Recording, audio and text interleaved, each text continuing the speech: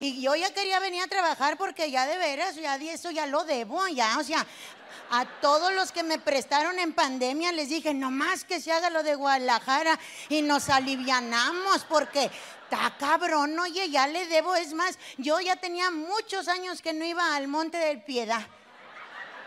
Mira, es más, hasta llevé joyería que yo no sabía que ni era de oro y ahí me di cuenta que Rigoberto me engañó. Cuando me pesaron los anillos y me dijeron, pues sí, pesan mucho, pero eh, es chafa, es chafa, no jala esta madre, ni oro es. Le echaron un ácido y todo despintado. Y con razón el dedo lo traía yo bien verde. Pues sí, esa madre no es de oro. Y le dije a Rigoberto, y como ya sabes, así es que a partir también de la pandemia hay que tener cuidado. Cheque toda su joyería, señora. ¿Eh? Su anillo del compromiso, todo eso, chequenlo. Mire, yo ni un anillo traigo, no me quedó ni para eso. Ahorita nos andamos manejando en puro heaven, ¿verdad? Este, en todo moda, así de a 35 pesitos, ingue su madre. El chiste que se vea algo colgado en las orejas, ¿a poco no? Pero qué bueno que vinieron, sobre todo las mujeres, oye, ya les tocaba.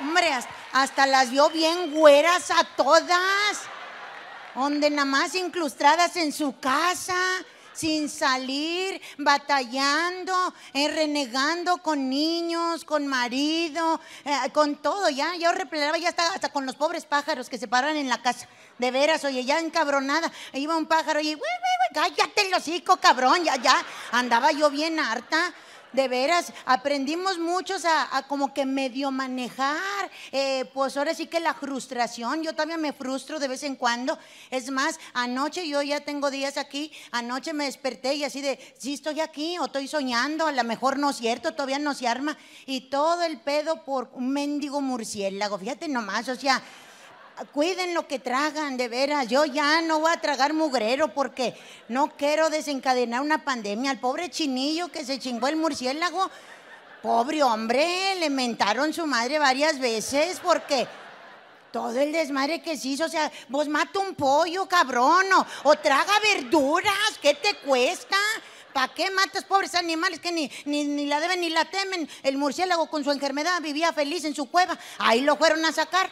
¿Eh? Y dijo el murciélago, ándeles cabrones, para que se les quite. Ahora se engerman todos. ¿eh? No, come brócoli, al cabo, pues, ¿qué tiene?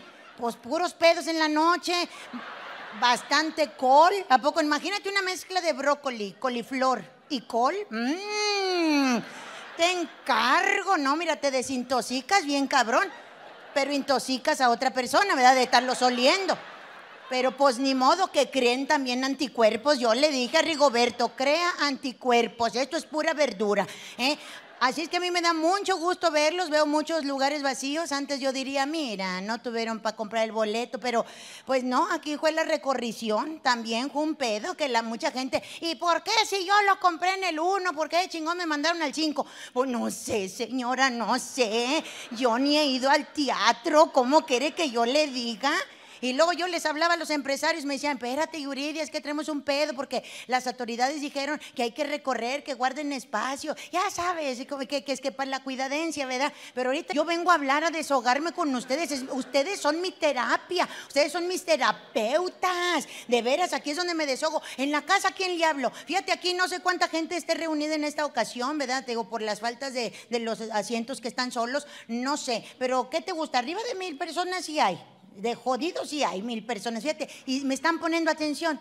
En la casa tengo tres criaturas, no puedo, por más que les hablo, hasta conecté la bocina, a lo mejor piensan que les voy a hacer show o algo, los niños no me pelan a mí en la casa, Rigoberto menos. Ese día que hablé con la maestra le dije Rigoberto, Rigoberto, el niño anda mal.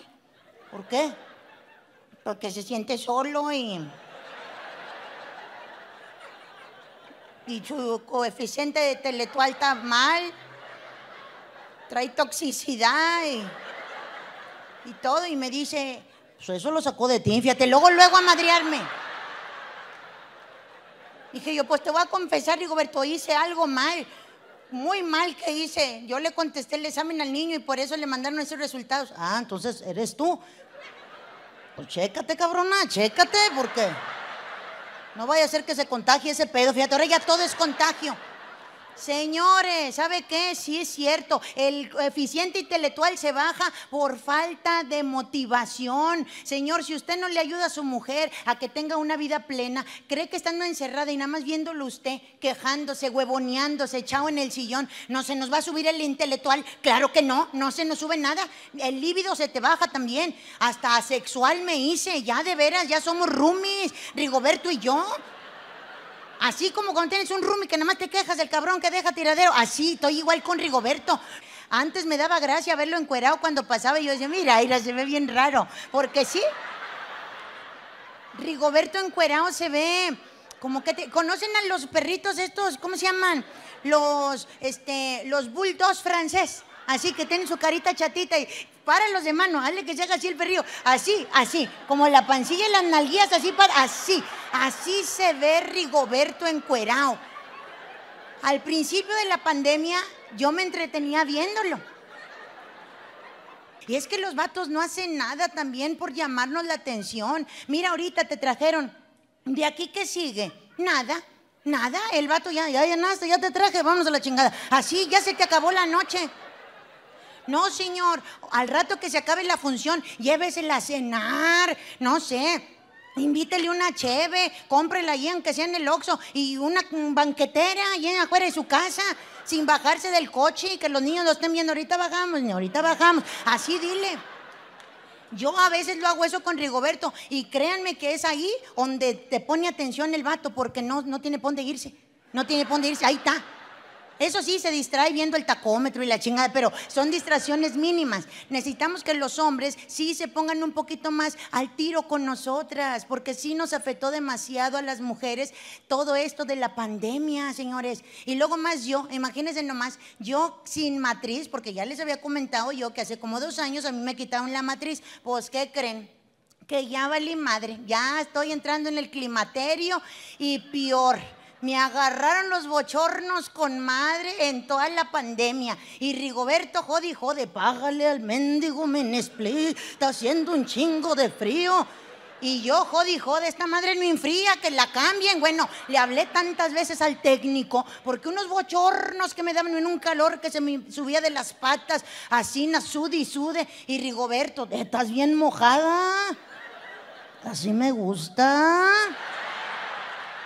Sí, cabrón, mojada, pero de mal humor. Hazte a la chingada para allá. No, mira, yo andaba así, con un humor que no me soportaba ni yo. Yo hasta me veía en el espejo y decía, qué gorda me caigo de veras, oye, porque ni yo me soportaba. Pero es ahí donde se demuestra el amor a la pareja. Recuerda suscribirte al canal, darle clic a la campanita para que YouTube te avise cuando subamos un video nuevo y formes parte de nuestro club de seguidores. ¡Síguenos!